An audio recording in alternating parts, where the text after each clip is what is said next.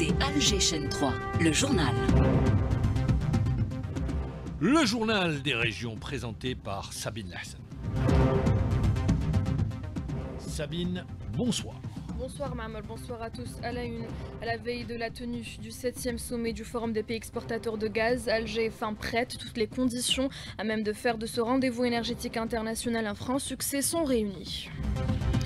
L'Algérie, destination attractive pour les investissements étrangers dans le domaine gazier, notre pays assure un contrôle optimal sur ses hydrocarbures. Son savoir-faire est très convoité.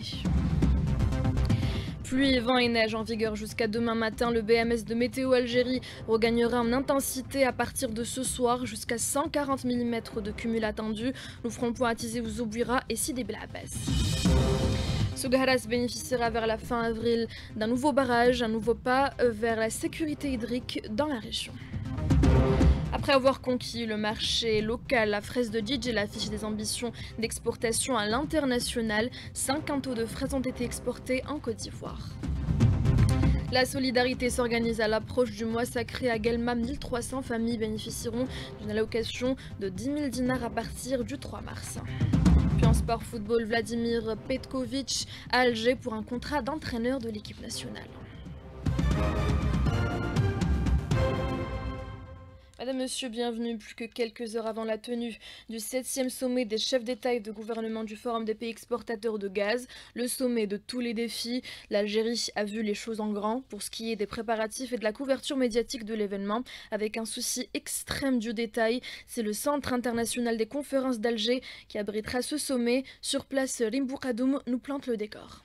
Le CIC se prépare pour accueillir ce rendez-vous incontournable. C'est les dernières retouches à la veille de cet événement. Tous les moyens sont mis en place. Des équipes sont mobilisées, notamment la Radio Nationale, pour garantir le bon déroulement de l'événement qui débutera demain avec la participation des médias nationaux et étrangers, des experts et des entreprises du secteur énergétique, des ministres de l'énergie et des chefs d'État des pays membres. Justement, les pays membres du GECF devraient discuter de l'avenir du marché gazier, élaborer une vision commune pour assurer un approvisionnement stable et régulier en prenant en considération les enjeux de l'heure, puisque le gaz est devenu un élément clé notamment dans la transition énergétique. Du CIC Rimbokadoum, Alger 3. Et puis lors de ce sommet, la souveraineté des pays sur leurs ressources est une épineuse question qui sera discutée. L'Algérie qui assure un contrôle total sur ses hydrocarbures a pu développer un savoir-faire et une expertise dans le domaine gazier. Ses compétences sont très convoitées par les firmes étrangères. Hamza Belmadani. Le savoir-faire algérien dans le domaine de l'industrie gazière est très prisé à l'échelle internationale. Le profil des cadres algériens a été très recherché par les compagnies internationales grâce à leurs expériences et leur dévouement qui fait le fer de lance de la réussite de l'industrie gazière en Algérie. Comme l'explique Touati Hassani, retraité de la Sonatrach. Nos gars ont été recrutés par des multinationales pour lancer l'industrie gazière un peu partout dans le monde, dont le Moyen-Orient, Brunei, etc. Il se passait à cette époque, des années où les autres venaient de démarrer, entre 85 et 95, c'est que les gens venaient faire des recrutements ici à Arze. Dans chaque complexe, il y a toujours ce qu'on appelle les hommes clés. Je vous prends le cas de la Camel, où j'ai débuté, où beaucoup de travailleurs, pendant la construction de leurs usines, les gens les mettaient pendant plus d'une année en formation. Et c'était aussi une usine En matière de canalisation et transport des hydrocarbures, les ingénieurs algériens ont côtoyé les Anglais en 1964 pour la réalisation du premier oléoduc reliant Hassim Saoud à Arze. Mustafa Jabbour, ancien cadre de la RTO, l'une des premières filiales de Sonatrach à Arze, se souvient de la volonté des cadres et employés algériens qui ont travaillé jour et nuit pour acquérir un véritable savoir-faire dans ce domaine. Ils ont commencé du côté d'Arze par le terminal et les bacs. ومعهم les Algériens la ligne بداوها من حوض الحمراء à côté de حسين مسعود من تماك عاودوا قلعوا لا سي جي بي توجور افيك لي Algériens اون دوبل وصلوها للغواط داروا لا باس وين كاين الماتيريال دو ريشونج دو مانتونونس اتسيتيرا ايوا وصلوا الطيارات ان ترافاي كولوسال 66 كانت نخدموها بلان لو بروميير اوليوديك qui a tracé la première ligne qui sera suivie par les cinq par la suite. Doran, Mohamed Hamza Belmadani, Alger, Chant 3. Et puis l'autorité nationale indépendante de l'audiovisuel appelle les médias à suivre et à accompagner dans leur programme cet événement qu'abritera Alger à partir de demain. La vigilance est plus que jamais recommandée sur les routes. Météo Algérie a réactualisé son bilan. Météo spéciale cet après-midi. L'alerte pluie, orage vent fort touchera jusqu'à demain matin tout le centre et est du pays. Les quantités de pluie pourront atteindre jusqu'à 140 mm. La neige est aussi au rendez-vous sur les hauteurs de Tizi Ouzou où on retrouve sans plus tarder notre correspondant Mohamed Haouchin. Bonsoir Mohamed. Oui, bonsoir euh, Sabine. Je peux vous dire en tout cas que l'hiver est toujours là. Et je peux vous dire encore que depuis le début de la saison hivernale, on n'a pas été gâté de la sorte, dans la mesure où il pleut à torrent depuis hier, aujourd'hui, durant toute la journée, alors qu'il y a un BMS de pluie qui nous promet, tenez-vous bien, 110 mm pour les 24 heures qui arrivent. C'est quelque chose d'exceptionnel, en tout cas, ne serait-ce que pour remplir nos barrages. Je peux vous dire qu'en Basse-Kabylie, les routes sont très difficiles à circulation. Certaines routes sont même quelque peu inondées, notamment sur la RN25 qui mène de Dra à Dra al où il y a même des coulées de boue euh, qui entravent la circulation, alors qu'en haute montagne, il pleut, et il neige énormément depuis hier, notamment à Ifrahonen, à El Hammam, à Zazga, Dra al sur la hauteur de Bourné. Et je peux vous dire en tout cas qu'il y a une couche de 20 à 30 cm sur les hauteurs du Djurdjura, notamment à Tel alors qu'on prévoit davantage de chutes de neige pour ce soir toute la nuit et pour demain pour la journée. Merci Mohamed pour tous ces détails. C'est vrai que euh, c'est beau de voir tomber la neige, mais il faut aussi penser aux quelques désagréments qu'elle peut occasionner. On fait le point tout de suite à partir de Bouira avec Arissia Choua. Plusieurs axes routiers, notamment ceux traversant les hauts plateaux et les montagnes, ont subi assez de désagréments, à savoir chaussées enneigées donc impraticables à la circulation, ou alors des chutes de pierres qui présentent des risques sur les usagers de ces routes. Les services des travaux publics, depuis quelques jours déjà, à titre préventif, ont déployé leurs moyens humains et matériels sur les points les plus névralgiques, notamment au niveau des routes reliant la wilaya de Bouira à la wilaya de Tizi Ouzou.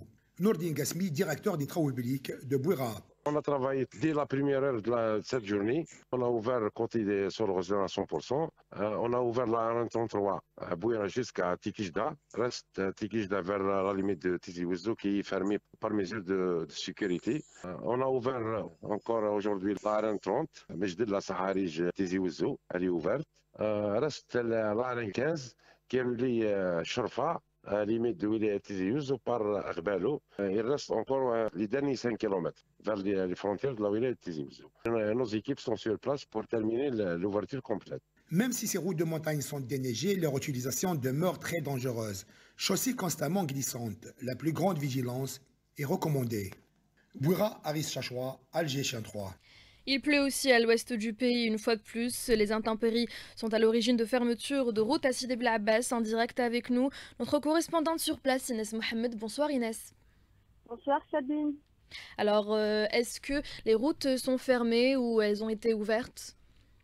Euh, Effectivement, les routes étaient, plusieurs routes étaient fermées mais ouvertes. Euh, on a Sidi Abbas, on a eu quelques routes nationales qui étaient coupées ces dernières heures à la circulation à cause de la montée des eaux pluviales. Euh, à savoir la route nationale 97 reliant Boudjab al à Sidi Hamadouche passant par la localité de Zlifa. Aussi la route nationale 7 reliant la commune de Tchizef à de Brahim et Sidi Blabès. Au sud, là où on a enregistré de fortes chutes de neige et on barré la route nationale 13 reliant la commune de Daya, située à 1350 mètres d'altitude, à la commune de Telag et le tronçon reliant la commune de Sidi Blabès. Merci Inès euh, pour euh, tous ces détails des pluies qui amènent leur lot d'espoir au barrage, surtout à ceux de Sougaras. La région a connu d'ailleurs, vous le savez, une faible pluviométrie ces derniers temps, mais avec ce nouvel apport, un barrage sera bientôt inauguré dans la région Oued El Jedra. Il s'étend sur 300 hectares avec une capacité globale de 35 millions de mètres cubes. Plus de détails avec Sadr Bolawi. Parmi les projets les plus importants que compte la wilaya de Sougaras, on citera le barrage d'Oued Tikidra, implanté à 3 km du chef-lieu, plus précisément entre la commune de Sougaras et la commune de Mashroha. Un barrage d'une capacité de 35,25 millions de mètres cubes, dont 12,5 millions ont été réservés pour l'approvisionnement en eau potable et 1,74 millions de mètres cubes pour l'irrigation des terres agricoles implantées dans les localités limitrophes. Il va sans dire que ce barrage vient s'ajouter aux deux autres déjà existants dont on celui du Wadcher situé à Sodrata d'une capacité de 157 millions de mètres cubes destiné à l'irrigation agricole et le second barrage, celui d'Indalia, situé dans la commune de Hnansha d'une capacité de 76 millions de mètres cubes destiné à alimenter les populations de plusieurs villes de la wilaya de Sogaras. De Sogaras, Sadk Borawi pour AG 3. Effectivement, ces pluies sont d'un bon apport pour les barrages. Justement, l'alimentation en eau potable sera renforcée durant Ramadan à Oumoul Bouagui, notamment à la faveur de cette prochaine opération de rénovation. C'est ce que nous dit Nasser Benissam. La direction des ressources en eau de la wilaya de Melbougui lancera durant le mois de mars prochain une opération de rénovation du réseau d'alimentation en eau potable dans huit quartiers de la ville de Ain Beda. Selon le responsable du service AEP à la DRE, cette opération du programme complémentaire de rattrapage de l'année 2023 concerne 9 km pour une enveloppe financière de 6 milliards de centimes. Par ailleurs, et selon la même source, le projet de renouvellement du réseau d'AEP de la ville de Mskena sera réceptionné dans les prochains jours. Le taux d'avancement des travaux est estimé à 98%. De Mulbougui, Nasser Ben Sam pour Algéchen 3. Alors demain, on parlera de gaz, mais pour l'instant, on va parler d'électricité en matière d'exportation. Dans un communiqué publié ce matin, Sonelgaz annonce un chiffre d'affaires export record de plus de 219 millions d'euros pour l'année 2023. Toujours à propos d'exportation, cette fois de fraises, celle de Digel vient de franchir un nouveau palier. Après avoir conquis le marché national, les producteurs ciblent désormais l'étranger, notamment la Côte d'Ivoire avec plus de 5 quintaux déjà exportés selon Abdelhamid Zouet.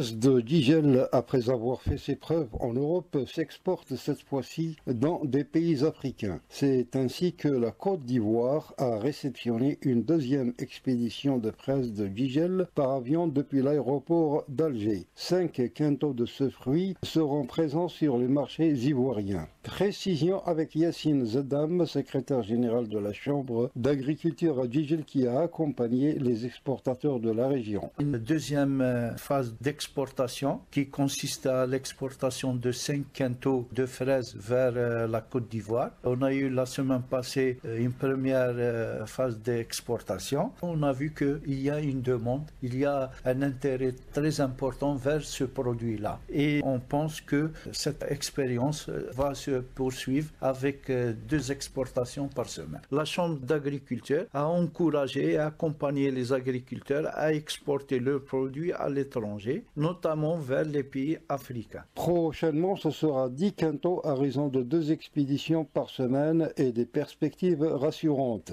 Créneau très rentable, la fraise a vu ses superficies rapidement augmenter, passant à ce jour à 900 hectares et une main-d'œuvre toujours à pied d'œuvre. Gigel Abdelhamid Zouad, Alger 3. Et puis, comme chaque année, le mois de Ramadan inspire à la solidarité. À Guelma, 1300 familles bénéficieront de 10 000 dinars d'allocation à compter du 3 mars prochain. Initiative de la Direction des Affaires religieuses. Pas moins de 1350 nécessiteux bénéficieront d'une allocation de 10 000 dinars. Envie de venir en aide à cette catégorie durant le mois sacré. Le chef service de l'orientation et des rituels religieux à la direction des affaires religieuses et du la somme totale de la zakat collectée qui sera distribuée est estimée à 13 500 000 dinars. Elle a été recueillie suite à la campagne effectuée par les commissions locales relevant de la caisse de wilaya de zakat et activant au niveau des mosquées du 19 juillet 2023 jusqu'au 22 février écoulé. À propos de l'opération de distribution, cette allocation sera versée à partir du 3 mars prochain aux gens concernés via un virement compte à compte, cela dans le but d'éviter toutes sortes d'intimidations.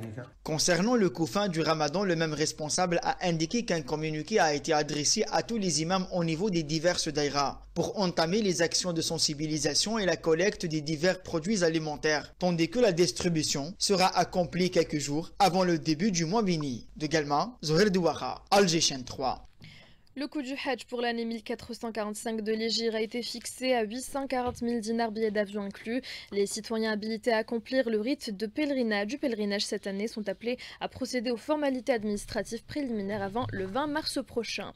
Puis dès ce vendredi, la prière hebdomadaire pourrait être accomplie à la grande mosquée d'Alger, Jamal al-Jazair, qui sera desservie par les autobus de l'Etusa à partir du 1er mars. Asia Zaidi, chargée de communication à l'établissement public de transport urbain et suburbain urbain d'Alger. On l'écoute. À compter du 1er mars 2024, l'ITUSA a mis en place un dispositif de 49 bus répartis sur 13 lignes pour assurer le transport des fidèles. Deux minibus PMR ont été également déployés pour faciliter le déplacement des personnes à besoins spécifiques. La réservation de ces derniers se fait au préalable auprès de notre poste de commandement sur le numéro 0555 02 65 94. Des contrôleurs seront sur place pour orienter, guider les fidèles ainsi qu'une distribution de brochures contenant les informations nécessaires ainsi que le programme de transport vers la mosquée d'Alger. Les premiers départs seront à partir de 9h30 du matin et les retours à partir de la grande mosquée à 15h30. On avec du sport, avec cette information football. Vladimir Petkovic est arrivé à Alger ce mercredi afin de signer son contrat avec la Fédération algérienne de football.